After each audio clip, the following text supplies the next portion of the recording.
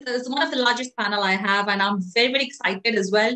Not only because of the number of panelists I have uh, to speak to, but also about the topic, which is very new on my panel today. It's about startup advice, education, and training, and the investments and the trends and whatnot. It's about 2020 that we're going to talk about and focus on the trends of the year.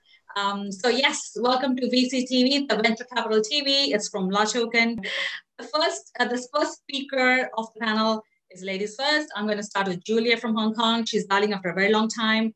Hi, Julia. Hope you're doing good. How are you? It's been a while see you. Really great. Thank you. Yeah. I'm Julia Charlton. I'm a lawyer in Hong Kong. I've been uh, doing this job for many years, and uh, obviously 2020 has been exceptionally challenging. My law firm works, and me personally, we work on startups, we work on capital raise, VC, private equity rounds. We act for investors, we also act for companies and we also help them all the way through to stock exchange exits. There's been a couple of those this year.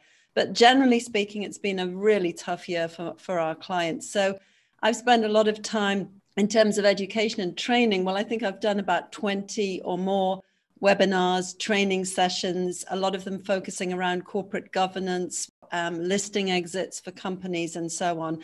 We're doing another series about the when a company hits financial difficulties, because obviously that's a huge thing. So the challenge for me this year has really been to be supportive to our clients because a lot of the time they can't really afford legal fees if they're in the startup space and they really need desperately need advice which obviously I have to try to support them to give to some extent others and I'll talk about that a bit more later have been doing extremely well if they're in a sweet spot and others have got great businesses, but perhaps because the customer side isn't as busy and they're not getting as much revenue and they need to raise money, they're getting squeezed on the valuations and it's much more difficult for them to deal with investors. And we've seen quite a lot of that this year. So, really, the education and training and the communication with startups and indeed with investors has, just been so important during 2020. And of course, so much of that has been online, endless Zoom meetings for lawyers, um, calls very late at night about what to do if the directors think they haven't got enough money to keep trading and talking people through that, as well as more formal training. And I've done quite a lot of work with the stock exchange on a new ESG, that's environmental and social governance and corporate governance guide, from a practical point of view, where I interviewed lots of service providers about how they could practically help companies, uh, particularly at the smaller end of the market, to actually pay attention to their environmental and social governance and their corporate governance. So there's a lot going on, but it's very, very challenging. And of course, Hong Kong remains very dynamic. We've had, I think, a 6% increase in the number of startups this year over last ah. year. But of course, that's a massively lower number than the previous year, which was 21% over the previous year. So things are continuing here, and I'm looking forward to telling you more about it. Thank you, Julia. What a start! 6% rise as compared to 21%. I'm going to know more about that. Julia, let's let's just drill down a little bit into a startup story, a success um, pivot, a successful use case I'd like to share with our audience. Thank you. Sure, sure, sure. Well, you know, there's been quite a few that I've been working on. And um, one was an online debt factoring platform, which has actually won the HKMA, the Hong Kong Monetary Authority's FinTech of the Year award, and is really expediting SME funding in Hong Kong. But perhaps one which has actually been through a funding round this year, I've been working on, I'll mention. It's called Praxonomy.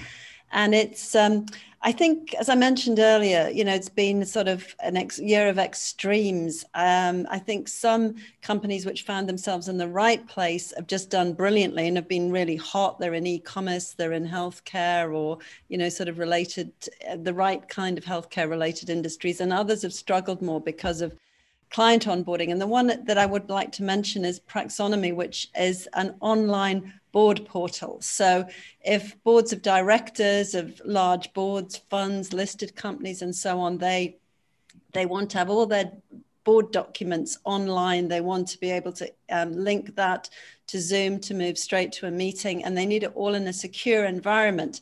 Now, obviously, that type of business is just made for this kind of environment because nobody can deliver hard copies of documents. Um, sending things out by email isn't necessarily secure. So to put everything in that um, universe of a secure board portal is, is uh, a wonderful concept. And it was quite new It was starting off at the end of last year and they were fundraising then. They managed to get some money, but they did it. They managed to do another successful raise this year. Um, tough negotiations, but they got quite a large strategic investor to come in, betting on the growth of this kind of business in this market. And this is an entirely Hong Kong grown um, startup, which is serving obviously Hong Kong companies, listed companies, of which there are many. But there's, a, you know, it, it, it's also been recommended by the London Stock Exchange as a, as a suitable, secure portal. So it has a very diverse range of um, users, and it did raise the money to continue to grow this year. So I think that's important. Another one which is done well is a company called Indemandly, and that is a sort of that's a widget, which is a contact widget software, and which floats on top of websites. So instead of going into someone's website and looking for inquiries and sending them a message, you just click on something and you quickly can type into it and it would be on, on the top of the website on a mobile phone. It can be linked to the emails. It's linked to all the social media of the business which is um, seeking people to contact them with inquiries for calls meetings or pricing or whatever. And that's been doing very well because clearly there's so many sales so much has been going on online that they were just in a good place to really increase their business and their profile but of course, at the same time, a lot of customers just don't have a lot of money for discretionary spending. So I think that does place some constraints on the paid versions or increasing fees for many of these business related um, software products, which are not they're you know they're not very expensive and you can clearly make a case for using them but they're not cheap either. They are a cost. So these types of products have really got to justify themselves in this market and i think those two are successful. They've managed to. I mean i have other clients who for example a wonderful ai company. They're just fantastic. But you know you have to be in the right place with robots and so on. So robotics at the moment is probably not quite so um, so hot because robotics, which unless they have very specific applications like medicine or defense or something like that, they're much more useful for sort of physical events and so on, where people are captivated by interaction with robotics and so on. But all of this is going on in Hong Kong. You know, we have startups across a range of industries. I think we've got about nearly 500 startups in the finance sector. So, yeah, those are some examples of what I've been working on recently. Excellent, uh, Julia. Excellent. Three success stories coming out of Hong Kong, and one of them won by Hong Kong Monetary Authority. Mm. Um, wow, amazing. Uh, thank you so much for sharing those with our audience. This is the time opening up the floor for all the panelists to talk to each other. Any questions for any other panelist here? I'm opening up the floor for you to, to ask questions to each other. Any questions, please? Anyone? Uh, let me let me um, give uh, you know let me break the ice. Uh, what I what is the uh, overriding element for you that uh, pushes the decision making process towards a yes? So, what do you want to see in a proposal that is hard to resist? Very good question. Julia, do you have anything to add here? Um, only just, only just really quickly, you know, because I see this as a lawyer, but to some extent, I'm an entrepreneur as well. I do run my own law firm. Um, I think it's to echo what's being said. Who you hire is incredibly important, and you know, obviously, it's very important that the founders are deeply engaged themselves. But who the talent they manage to bring on and inspire and inspiring that passion around them is terribly important. But the other thing, just very mundane, I see is that when really quite great ideas and companies come to raise money, they can fall over if they haven't got their documentation and their regulatory position in order.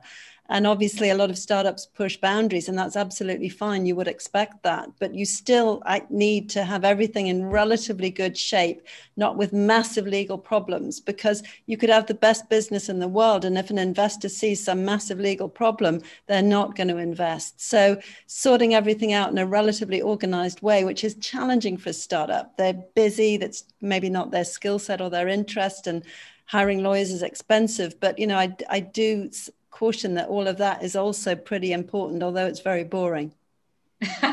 all right, a very key point as well legal stuff.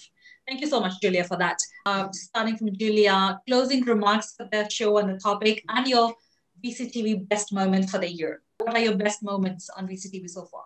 Okay, yeah, fantastic. Yes, um, I was uh, talking before. Well, this has been wonderful, fantastic listening to these terribly knowledgeable people here. So this is definitely a good moment. But uh, earlier this year, I was on a social impact investing event on uh, VCTV, and that was incredibly moving because we heard so much about some amazing stories about social impact investing in India. And I actually talked about a silk um, business in Myanmar, which I was talking about, which is um, employing women in Chin state and it was all amazing. Of course, that's been totally affected by COVID, but I just want to mention great ending to that because they've pivoted, like even though they're social impact, like entrepreneurs, and they're making the most beautiful silk masks, which are actually selling for quite a lot of money, and they're posting them all over the world and shipping them and so on. So um, yes, we all have to pivot and stay entrepreneurial. Thank you so much, Julia. That was my panel. I remember that very clearly. Thank yeah. Vandana, my closing remarks for the show. I said eh, we have the startups, we have the investors, we have the community, as Gary rightly said. So please, who is stopping you now? Feel free to reach out to me and VCTV team, and we're going to help you place on the on the panels with all these amazing speakers that we have on the uh, uh, every day. So we cover uh, different topics every day. We have different speakers from all around the world, as everybody said. So that's the whole idea: startups, founders, investors, and the community. We all make VCTV. Thank you so much again for your time, your insights. I really enjoyed the panel as always. Bye bye.